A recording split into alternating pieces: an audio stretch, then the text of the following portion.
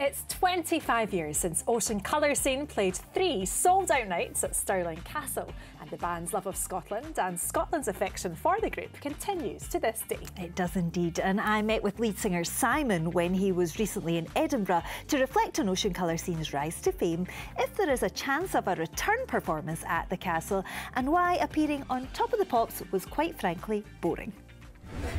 Simon, thank you so much for joining me here at the Traverse Theatre in Edinburgh. It's pleasure. pleasure. And this is a bit of a Q&A, an acoustic show. Tell me about it. Yeah, well, my friend Daniel, I mean, I've known him since he was five. We kind of grew up few doors away from each other. So we wrote a book together. Did from a series of interviews, really. Yeah. And he got all these old photographs, um, which are fri frighteningly, I'm frighteningly young. Yeah, I think I ate that person on the front cover, actually. I can't believe it's me.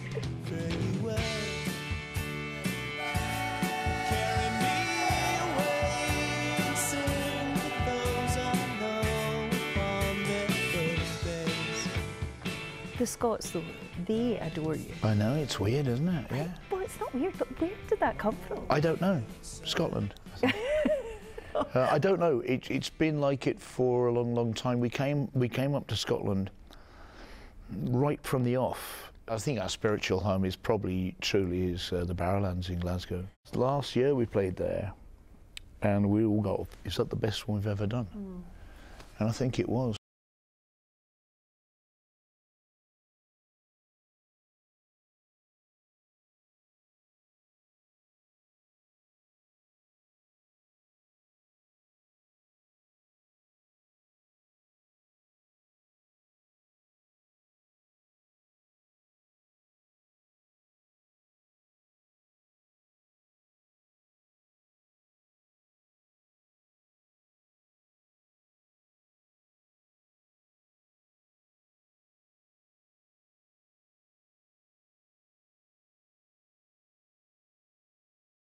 He's our godfather, really, yeah. Paul. You know the Modfather is our godfather and a great, great pal. And so are Oasis. Um, we had a great time with them. But really, the guy who really, really made it for us was Chris Evans. Yeah. Without Chris, um, none of this would have, have happened. Ocean Colour Scene, the Riverboat song, the new single, out now!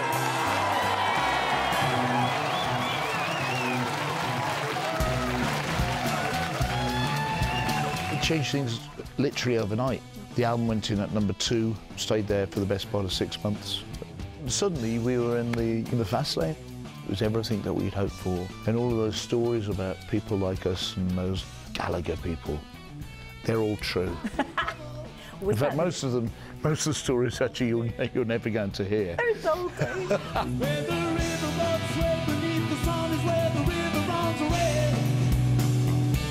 three gigs in Scotland that everybody talks about Stirling Castle. Ah. What are your memories of that? Well, when I got there, I was slightly disappointed because I realised that we were playing in the car park. and then I thought, well,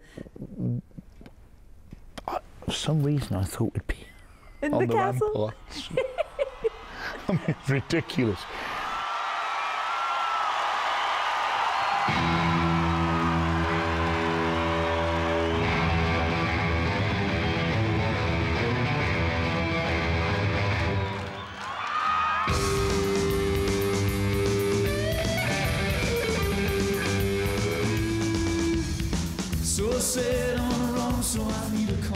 We did three nights there and we had a load of mad pipers on the first night we went on. I think it's an anniversary, isn't it? It's the 25th Is it? anniversary. Oh, no. Does that make you feel old? No. of course not. yeah, it does actually. Uh, I think that we should revisit that at some point. Oh, that would be the dream. Mm. Do you think you will do that? Well, now you mention it, I think we will. I will sort it out with my people. You have to make that happen because yeah, I think we is, do, don't we? It's legendary.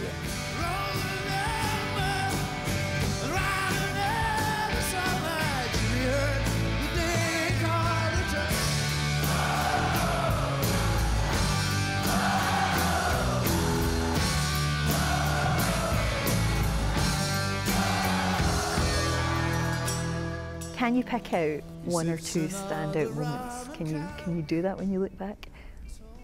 I mean, it should be top of the pops, but I hate to say this, but it was incredibly boring. No, was it? The studio, honestly, was not much bigger than this stage, and I'd grown up watching this. I was like, really? There's not 300 people there. No, there's 30. We just moved them around very quickly, and we got very good cameramen. but that was that was that was ridiculously an honour, really, to do Top Ups. And the first time that we did the album.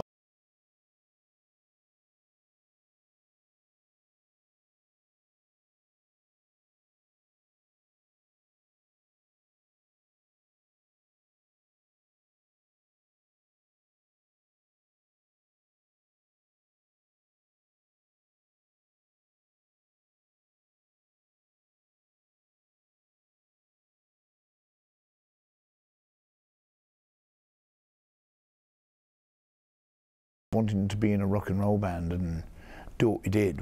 I mean, wanted wanted to be on a football commentator seemed ludicrous enough.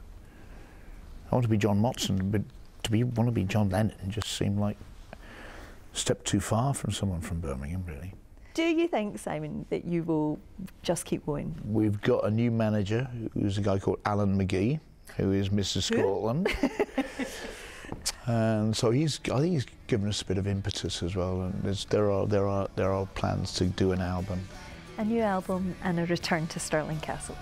It sounds like a good idea, doesn't it? Every OCS Yeah. fan is going to be overjoyed with that.